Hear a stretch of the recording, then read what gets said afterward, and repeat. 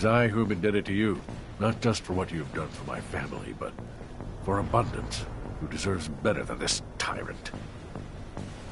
Short. I don't know much about it. Looks like a hidden gem sorta.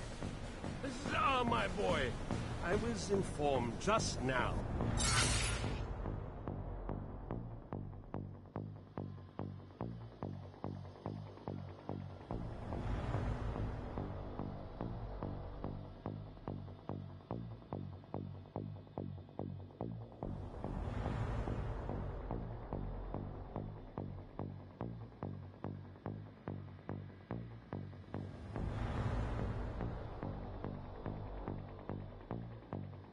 Not that short, I'm on like hour 1-4 in total. It just takes time to grow on you. Scott, out with it. Oh, yes. Yeah, yes, I was told that an elder assembly member wanted to talk to you at the Curiosities about uh, the people's discontent. Was it people's disco? Either way, he wanted your opinion. 1-4's My decent yeah. Is Victor is in hot water, and you just need to make it boil.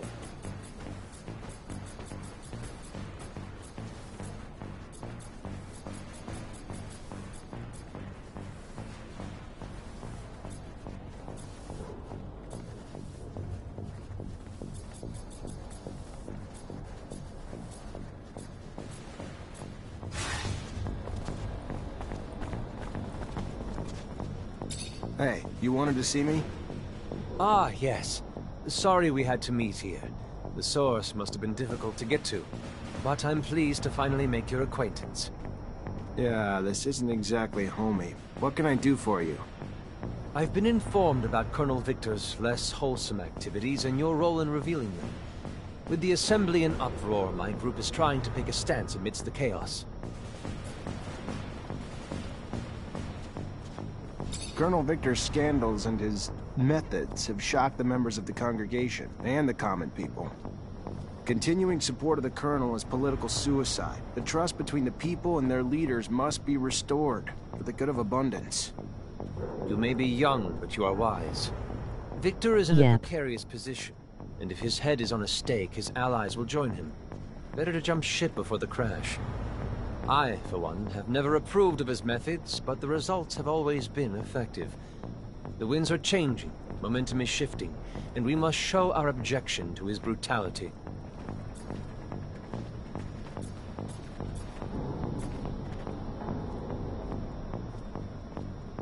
Corruption is rampant at every level of our corporation.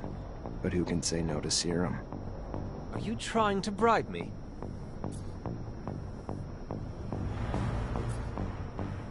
Just a gift to help us come to a mutual understanding. Why the nerve? You deface the Colonel for it, and then follow up with your own performance. I find hypocrites more despicable than the on... Look around you. Do you see the people? They're scared, angry. Victor's incessant intrusion has violated the privacy of their lives, their relationships. They no longer feel free.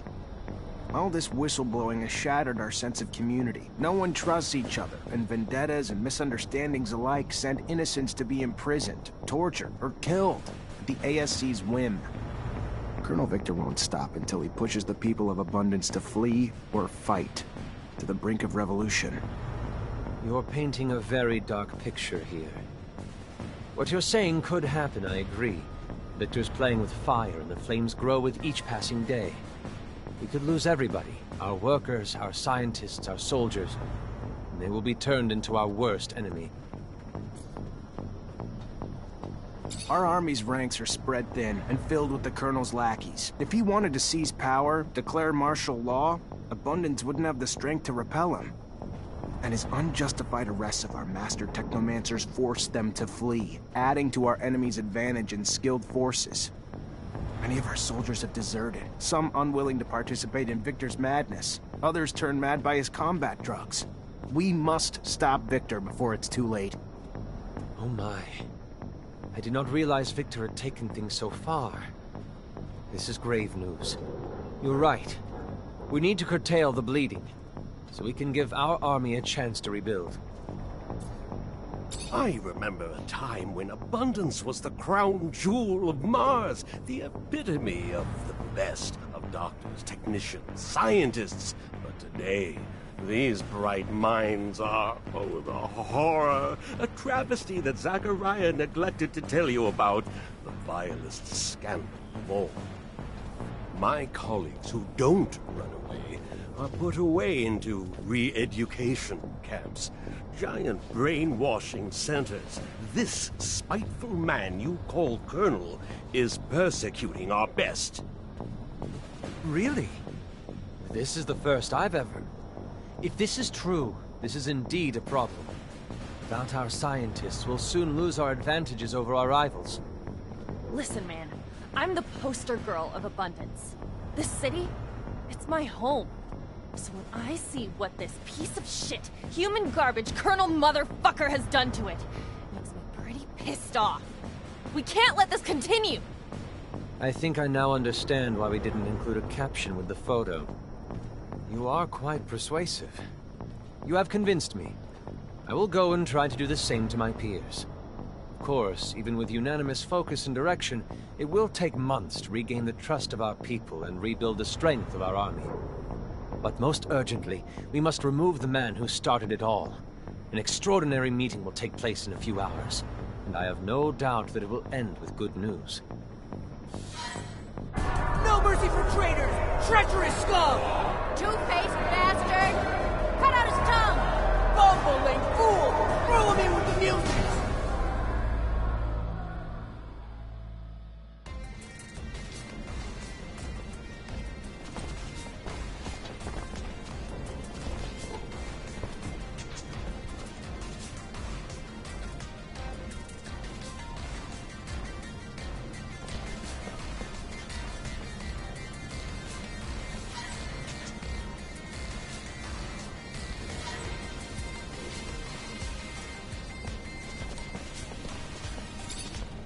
Hey, good looking.